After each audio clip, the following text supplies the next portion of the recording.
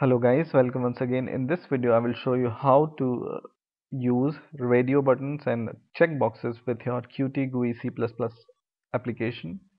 And I will also show you what is difference between uh, radio buttons and checkboxes. So let me uh, give you an example. So let me build my example first and then I will illustrate my example. I will take two group boxes in my window and I will resize it. And first group box name I will change it as the title of my group box as age. And second group box title as uh, likes. Okay? And now once again I will go to my widget box or toolbox. And I will take some radio buttons and drag and drop into the age group box. So inside this age group box and I will pick up some checkboxes and drag and drop inside my like group box. And I will change the title of this uh, radio button as above 18 and second radio button as below 18 okay? So this is the title of the checkbox and likes maybe movies and sports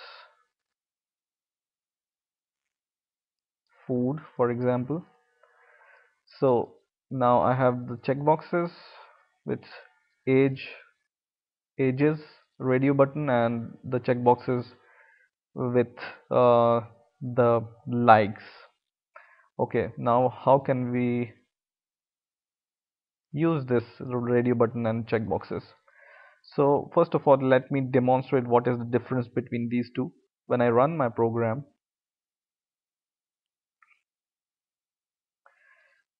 so inside this group box when you take these checkboxes and radio buttons you can see the behavior of this radio button.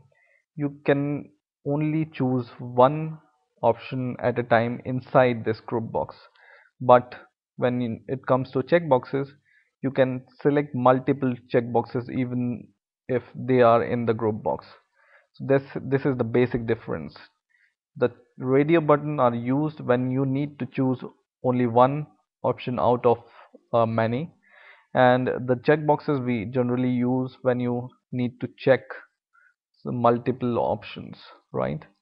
So this is the basics difference. And now let's use them. So I will take push buttons here.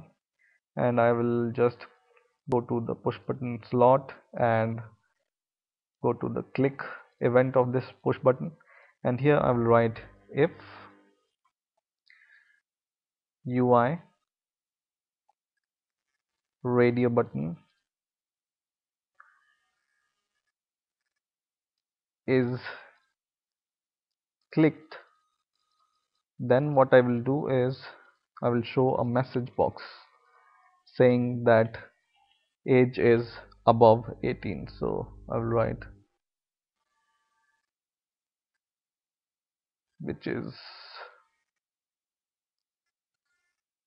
so I will just paste the code of message box and say this is age message box and the comment is age is above 18 okay? And if my second radio button is clicked then I will say age is below 18 and this is radio button 2 so this is for radio buttons. And now once again I will go to my UI and I will select this push button and go to slots and click OK. And I will copy the same code here. And I will just change the checkbox so instead of radio button I will just write UI checkbox and UI checkbox 2 and UI checkbox 3 and then what was my items? Movie sports and food. Okay.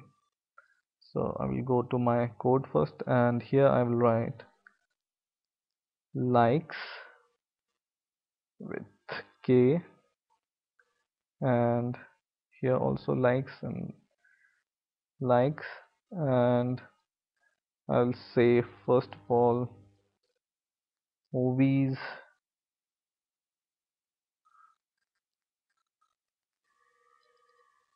Sports. And food. Okay. Now when I run the program it's showing me some error. So let's see what is the error here. Okay so this is saying that radio button 2 is not a member of this UI so let's see what is the name of our radio button. It's radio button underscore 2 okay. And here also we need to add underscore because our name of the checkbox is combo box underscore 2 and our combo box underscore 3 now when I run the program hopefully it runs. Okay. And for example uh, first of all I want to check check age. So age cannot be multiple right? It can be uh, either above 18 or below 18 or whatever.